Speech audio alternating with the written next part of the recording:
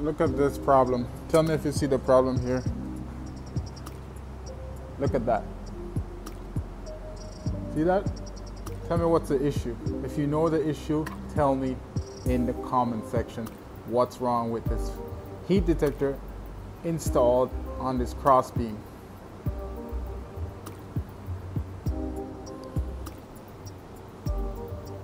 And then here's another issue. A smoke detector installed at the bottom of this crossbeam.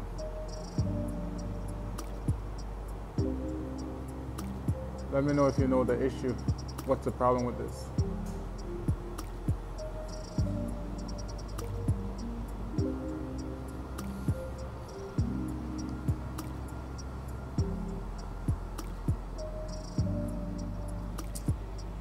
Here we have another one, another smoke detector installed below this crossbeam. What's the issue with this? Do you see the problem?